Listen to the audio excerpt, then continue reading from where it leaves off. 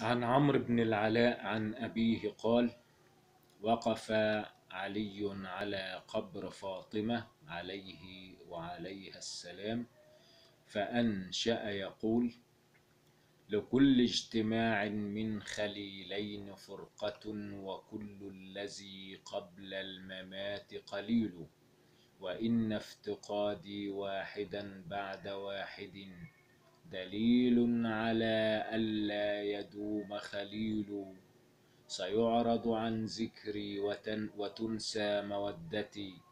ويحدث بعدي للخليل خليل. إذا انقطعت يوما من العيش مدتي. فإن عناء الباكيات قليل.